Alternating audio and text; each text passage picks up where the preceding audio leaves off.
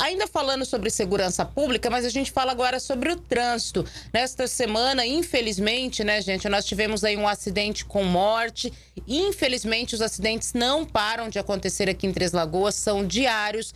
Por conta disso, a Polícia Militar tem realizado ações preventivas. Ontem não foi diferente. O segundo batalhão da Polícia Militar, através do pelotão de trânsito, realizou mais uma ação preventiva para evitar esses acidentes de trânsito, para ver se conscientiza os condutores a mudar um pouquinho o seu comportamento. O repórter Sidney Cardoso ele tem as informações para a gente a respeito desta ação. Pois é, infelizmente, nessa semana tivemos essa trágica morte desse jovem aqui no trânsito em Três Lagoas. E ressaltando, de acordo com o Departamento Municipal de Trânsito, neste ano, de janeiro a setembro, já foram registradas nove mortes no trânsito, sendo oito na área urbana e uma na área rural. Nesse momento, eu vou falar aqui com o Tenente Lauro Santana, que coordena o pilotão de trânsito da Polícia Militar aqui de Três Lagoas, que vai dar detalhes sobre essa ação. Tenente, que ação é essa e qual o objetivo dela? Ah, o comandante do 2 Batalhão, com o intuito de garantir o direito de ir e vir das pessoas em segurança em Três Lagoas, determinou que houvesse mais operações de policiamento ostensivo de trânsito, com o intuito de estar levando para as pessoas orientações, eh, educação de trânsito e fiscalizações também. Caso seja identificado algum ilícito de trânsito, vai ser tomadas medidas e as orientações cabíveis.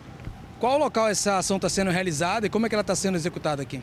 Tá, foi feito o levantamento de pontos onde teve vários acidentes e com o intuito de levar o policiamento ostensivo nesses pontos, com o intuito de evitar acidentes e permitir que as pessoas consigam ir e vir em segurança.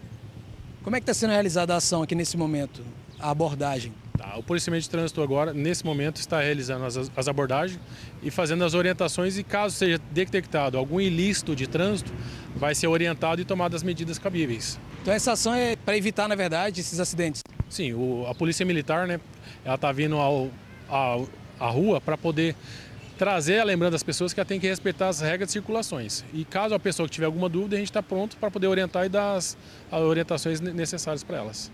Como é que a Polícia Militar tem acompanhado esses dados aí locais neste ano, no número de acidentes? Sim, a Polícia Militar, por meio do pelotão de trânsito, está fazendo estatística e levantamento de acidentes e vendo as causas dos acidentes. E foi detectado que a maior parte deles, 75%, é porque alguém não respeitou a, a sinalização ou regra de circulação. Então, por isso está tendo essas operações com o intuito de lembrá-los e orientá-los do que deve seguir as sinalizações e as regras de circulações. Ok, Tenente, muito obrigado pelas informações. Então esses são os dados é, dessa ação que está acontecendo aqui em Três Lagoas para reforçar aí a orientação aos condutores para evitar acidentes no trânsito.